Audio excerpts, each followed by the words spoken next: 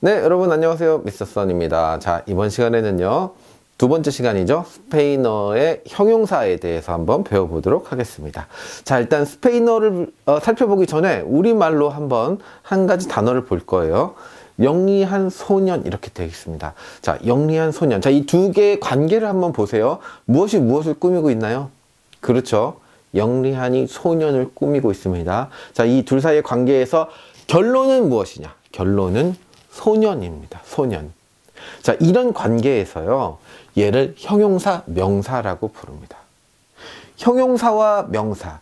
명사가 떡하니 버티고 있는데 형용사가 꾸민다. 이것은요, 우리말뿐만이 아니라 무슨 중국어, 일본어, 영어, 스페인어, 프랑스어, 독일어, 이태리어 할 거 없이 모든 언어에서 그 단어 사이에 가장 밀접하고도 중요한 관계.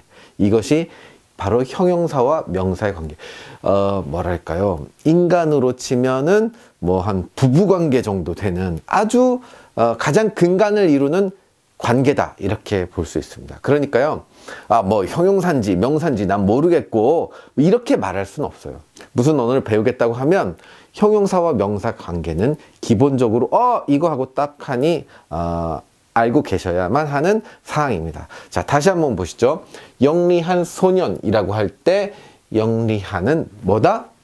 형용사다. 소년은 뭐다? 명사다.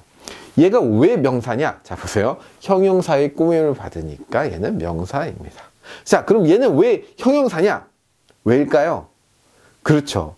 명사를 꾸미고 있으니까 얘는 형용사입니다. 자, 그래서 영리하니 소년을 꾸미고 있고 어, 형용사, 명사, 명사, 형용사의 관계다. 이렇게 생각하셔야 되겠습니다. 자, 그런데 이번 시간에 우리가 배울 내용은 이 소년이 아니라 영리한이라는 형용사죠. 형용사만 한번 남겨보겠습니다. 이 아이를 영어로 치자면 그냥 스마트 하면 끝납니다. 1대1 관계로 그냥 끝나버리죠. 그런데 스페인어가 되면요. 스페인어 영리한을 의미하는 스페인어 나와라 하면 일단 listo 그리고 또 어 뭐야?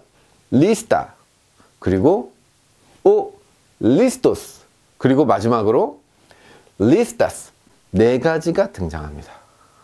아, 이게 왜 이렇게 여러 가지냐 하면은 똑같은 영리한이라고 말하려고 해도 그 영리한 아이가 남자아이인지 여자아이인지 혹은 남자아이 둘인지 여자아이 둘인지에 따라서 다시 말해 성수에 따라서 네 가지로 분화해 있습니다. 이게 어, 스페인어의 형용사다. 그러니까 어떻게 보면은 좀 헷갈릴 수도 있지만 여러분 생각해 보세요. 자, OA 붙이는 거 지난 시간 제가 말씀드렸죠. 남자애들한테 O 붙여주고 여자애들한테 A 붙여준다고요. 그리고 복수일 때 S 붙이는 거 이건 우리한테 왠지 모르게 익숙한 현상이죠. 물론 형용사에도 S를 붙인다는 게 약간 어색할 수도 있습니다. 하지만 이렇게 해서 listo, lista, listos, listas 이렇게 네 가지가 있긴 하지만 굉장히 규칙적이기 때문에 큰 부담은 없다. 따라서 앞으로 형용사가 딱 등장하면 오 얘는 얘가 모시고 있는 명사가 남자인지 여자인지 단순지 복순지를 딱 캐치해서 이 중에 하나로 골라서 써줘야 한다. 자, 이게 스페인어의 형용사입니다. 자, 이번에는요. 형용사 말고 명사에 대해서 한번 배워보도록 하겠습니다. 그런데 이 보통의 명사는 아니고요. 신분 명사라고 부르는 아이들인데요. 어떤 아이들인지 한번 살펴보겠습니다. 자, 그림을 보시죠. 어, 식당으로 보이고요. 여기 웨이터가 주문을 받고 있죠. 우리말로도 그냥 이제 웨이터라고 이렇게 말하죠. 웨이터라고 합니다. 원래는 영어인데 말이죠. 근데 이 웨이터가요. 이런 면이 있죠. 남자면 웨이터고요. 여자는 뭐라고 하냐면 웨이트리스라고 부릅니다. 남녀에 대해서 이름을 살짝 바꿔주는 현상. 자, 이런 현상이요. 영어에서는 웨이터, 웨이트리스, actor, actress 요 정도 있고요. 그렇게 많이 일어나는 현상이 아니죠. 그런데 문제는요. 스페인어에서는요. 대부분의 이 신분을 나타내는 명사들을 남자형, 여자형, 남자형, 여자형 이렇게 분리해서 얘기합니다. 자, 신분을 나타낸다는 게 뭐냐면요. 이제 학생이냐, 뭐 직업이 뭐냐 일 수도 있고요.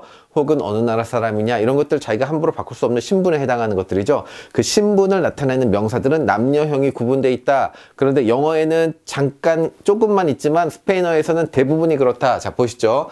코리아노 코레아나. 자 O는 남성, A는 여성 이제 익숙해지셨죠. 자 그래서 남성 한국 사람은 코레아노라고 부르고 여성 한국 사람은 코레아나라고 부릅니다. 자 그리고 이런 현상은 어느 나라 사람인지를 이야기할 때 항상 직업을 이야기할 때 항상 등장하는 그 신분 명사의 남녀형이다. 이렇게 생각해 주셨으면 좋겠습니다. 자, 그래서요. 몇 가지 다 살펴볼게요. 스페인어에서는 웨이터 같은 경우는 camarero, camarera, 의사는요, doctor, doctora, 변호사는요, abogado, abogada, 프랑스 사람은요, francés, francesa, 이탈리아 사람은요, italiano, italiana 이렇게 나눠서 부릅니다. 간단하죠? 뭐 아무것도 아니다. 자, 오히려 말이죠. 스페인어에서는 간혹 어, 신분 명사인데도 불구하고 어, 남녀를 똑같이 쓰는 경우가 몇 개 있어요. 그래서 오히려 이걸 가지고 어, 얘네들은 공용이구나 이렇게 기억해 놓으실 필요가 있겠어요. 자, 학생을 나타내는 단어, 예술가, 피아니스트, 어, 그리고 가수, 축구 선수 이런 몇 개의 단어들은 공용으로 쓴다. 자, 헷갈리지는 말았으면 좋겠습니다. 자, 이번에는요, 음, 명사가 있는데, 이 전체 명사 중에 신분 명사는 일부에 불과하고요, 요만큼에 대한 이야기를 제가 드린 겁니다. 그 나머지 명사는 어떻게 되느냐? 자, 보세요. 나머지 명사는요, 이 하나의 명사가 남성형이다, 여성형이다, 둘 중에 하나의 형이다로 규정됩니다. 자, 무슨 얘기냐면, 자, 보세요. 신분 명사는 남성형도 있고 여성형도 있어요. O를 붙이면 남성형, A를 붙이면 여성형 이렇게 두 가지가 있단 말이에요. 하지만 반대로 나머지 모든 명사들은 한 가지만 있어요. 한 가지만 있는데 얘를 우리가 어, 남성형이라고 부르기도 하고 어떤 명사들은 얘는 여성형이라고 불러요. 하지만 형태는 한 가지다. 예를 들어 볼게요. 음, 예를 들어서 소년 이거는 남성이죠. 소녀 이건 여성이죠. 그런데 그거 말고 우리가 그냥 평상시에 볼 수 있는 사물, 책상, 컵, 컴퓨터, 혹은 집, 천정, 전등, 혹은 어, 생각에 관한 뭐 사랑, 미움 이런 것들 모두 남성 아니면 여성 중에 하나로 어, 정해져 있습니다. 자, 이 내용은 우리가 앞으로 이렇게 심도 있게 계속 배울 거니까 지금은 어, 오 그래 모든 명사의 성이 정해져 있다고 이 정도만 어, 느끼시면 되고요. 지금 배우는 것은 그것과 구분해서 신분 명사 얘는 OA로 나눠져 있다. 이렇게 기억하시면 되겠습니다. 자, 앞에서 우리가 이 영리한 형용사와 소년 이거 배웠는데요. boy 이거 제가 영어로 써놨네요. 영리한 boy. 아, 이렇게 돼 있는 것을 우리가 스페인어로 바꿔보면 어순이 어떻게 되냐면요. boy는. niño. niño. 그런데 listo, listos, lista, listas 중에서 얘는 소년 한 명이니까 listo가 돼 있네요. 만약에 소녀였다면은 lista가 됐겠죠. 어쨌든 어떻게 읽으면 되냐? niño listo 이렇게 합니다. 자 여기서 제가 말씀드리고 싶은 어, 주의사항은 뭐냐면 영어로 하면 영리한 보이 스마트 보이지만 스페인어로 하면 닌뉴리스토 이렇게 순서가 그렇다라는 겁니다. 자 그래서 스페인어에서는 명사가 나오고 형사 뒤에 나오는구나. 이 정도 감 잡으셔야 돼요. 자 요번에는 말이죠 우리가 명사와 형용사의 그 성에 대해서 다 배웠으니까 영리한 소년부터 하나씩 우리 한번 만들어 볼게요. 자, 영리한 소년 하면 어떻게 말하면 됩니까? niño listo 이렇게 합니다. 자, 그런데 소년은 소년들은 어떻게 하느냐? 자, 복수니까 어떤 현상이 벌어질까요? niños listos SS를 붙여줍니다. 어, 굉장히 간단하죠. 굉장히 간단합니다. 왜냐면 어, 복수니까 S, 어, 혼자 붙여주면 서운하니까 S, 그래서 둘 다 붙여준다. 자, 이번에는, 어, 소녀 혼자 있어요. 어떻게 되겠습니까? 소녀 혼자 있으면, niña lista. 이렇게 됩니다. 자, A는 여성형이라고 그랬는데, 양쪽 다 붙여줬고요. 역시 복수는 niñas listas. 이렇게 합니다.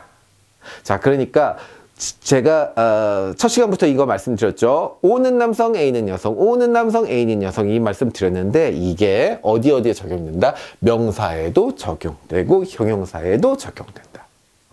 자, 복수일 때 s를 붙인다. 이건 우리가 음, 처음 어렸을 때 우리 영어 수업을 할 때 apple, apples 이렇게 했었잖아요. 그쵸? s 붙이는 거 너무 당연한 건데 스페인어에서는요. 명사에도 s를 붙이고 형용사에도 s를 붙인다. 자, 이렇게 해서 그 두 가지 법칙이 명사, 형용사 구분하지 않고 다 적용되는구나. 자, 여기까지 아, 이번 시간에는 마치도록 하겠습니다.